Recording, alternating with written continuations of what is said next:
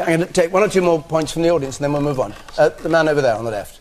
Uh, I agree with the government's policy of 50% of people going to university, but it should be a high quality education that there's been protests about some universities it not being high quality and it should be free.